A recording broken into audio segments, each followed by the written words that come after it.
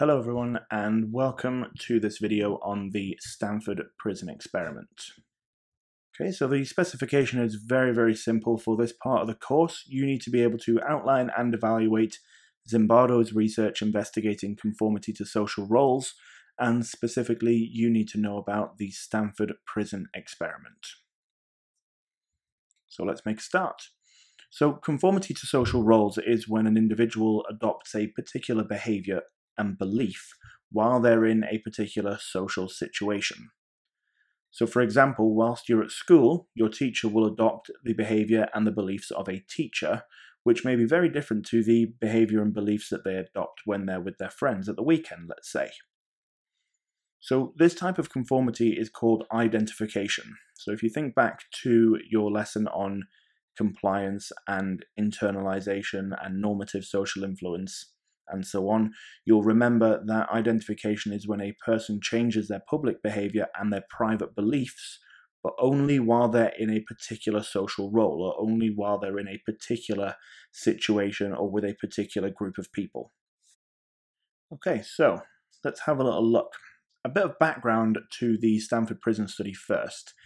In 1960s America, there were lots and lots of reports of prison guard brutality towards prisoners.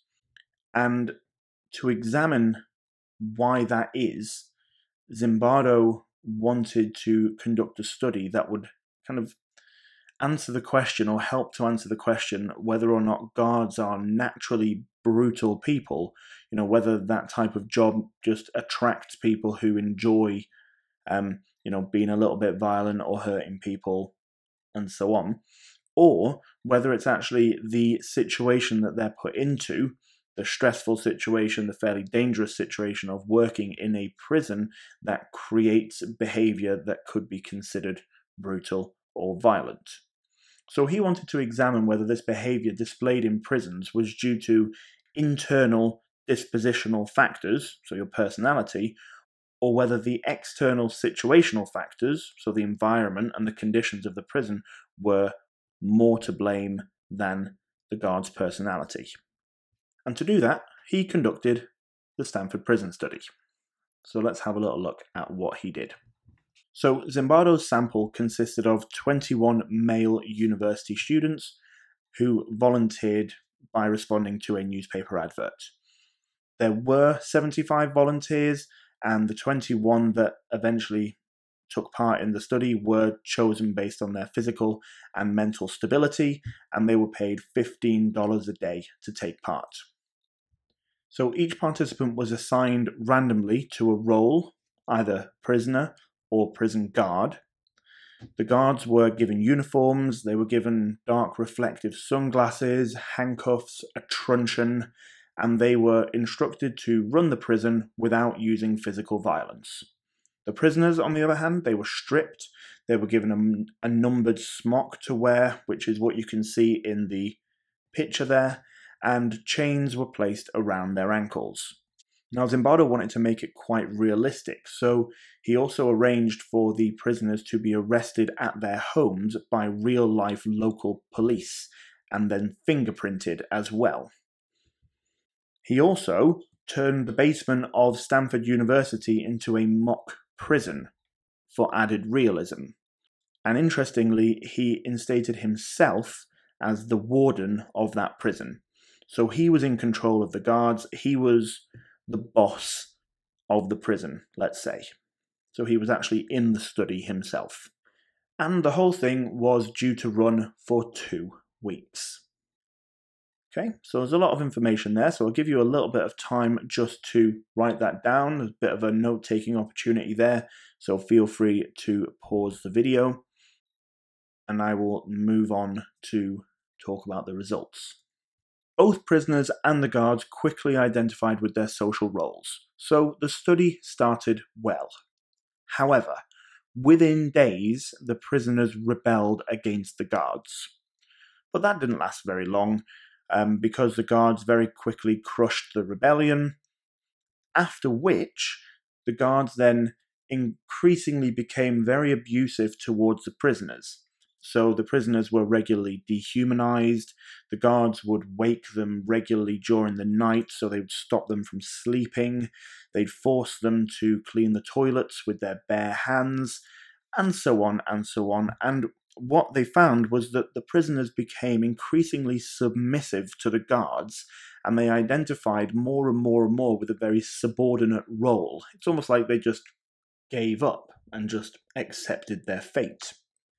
Now, five of the six prisoners were released from the experiment early because they had such extreme adverse reactions to the physical and the mental torment that they were being subjected to. So, for example, there was a lot of unco- uncontrollable crying, and they started to display extreme symptoms of anxiety and depression, etc. So, they had to be released early. Now, bearing in mind, the entire experiment was supposed to run for two weeks it actually had to be terminated after just six days. And it wasn't even Zimbardo who ended it. It ended up being a fellow postgraduate student who had to convince Zimbardo that the conditions in his experiment were cruel and inhumane, and she actually had to convince him to end the experiment early because he couldn't see it. He was so in the experiment as his role as the warden that he couldn't see what he was doing to his experiments. And then it actually took somebody else from the outside to come in and say, no, this has to end now because this is terrible what you're doing to your students. Okay, so here are the results for you written down so you can just take a few notes if you wish. Now, Zimbardo came to a couple of conclusions from his study. He concluded that people very quickly conform to social roles, even when the role goes against their moral principles. He also concluded that situational factors were largely responsible for the behaviour found, and the reason he came to that conclusion is because none of the participants had ever demonstrated any of these behaviours before, so it must have come from the situation that they were in. Okay, so that is the Stanford Prison Experiment. Now let's have a look at a couple of evaluation points. I've got two evaluation points written out fully for you, and then I've got a third one for you to think about as well. So the first one is Zimbardo didn't take individual differences into account. Okay, so Fromm in 1973 actually accused Zimbardo of exaggerating the power of a situational force to influence behavior, and he actually accused him of ignoring personality. And the reason he did this is because in the Stanford prison study, the behavior of the guards varied very dramatically. So you had guards that were extremely sadistic and, you know, were quite violent and quite, quite cruel towards the prisoners. But you also had guards who actually helped the prisoners and were supportive and sympathetic and gave them cigarettes and that kind of thing. You also had guards who just did exactly what they were asked to do. They followed the rules, they ran the prison with no violence, and were just exactly as Zimbardo was asked, had asked them to be. So it suggests that situational factors aren't the only cause of conforming to a social role. Personality also plays a role, and that's something that Zimbardo didn't take into account, which means that his conclusions could have been very overstated. It might not be all about the role that you're in. Your personality could also play a role in your behavior. Now, you've also got a lack of research support. So, in 2006, Haslam and Reicher actually replicated Zimbardo's prison study. And what they found was that the participants didn't conform to their social roles automatically.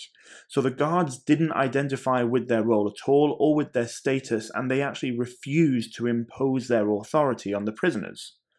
The prisoners, on the other hand, identified as a group and they challenged the guards' authority, which resulted in a shift of power and a com- complete collapse of the prison system in that study. So, results like that contradict Zimbardo's findings because they suggest that conformity isn't just about the role that you're given. It doesn't happen automatically when you're given a role. What actually seemed to happen is that the people in that group have to create some kind of shared social identity. So in Haslam and Reicher's study, the participants, particularly the prisoners, identified as a group who were not going to be pushed around.